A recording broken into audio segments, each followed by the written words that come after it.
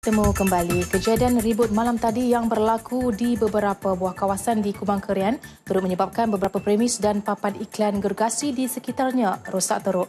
Tinjauan kru RTM mendapati kerja-kerja memperbaiki kerosakan sedang giat dilakukan kalangan pemilik premis. Salah seorang pengusaha yang ditemui Muhammad Warish Salih memberitahu ribut yang melanda mengakibatkan kelengkapan perniagaan di gerai makannya diterbangkan angin.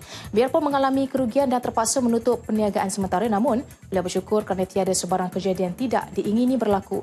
Difahamkan insiden yang berlaku sekitar pukul 7 malam itu berlaku begitu pantas dan disifatkan amat luar biasa.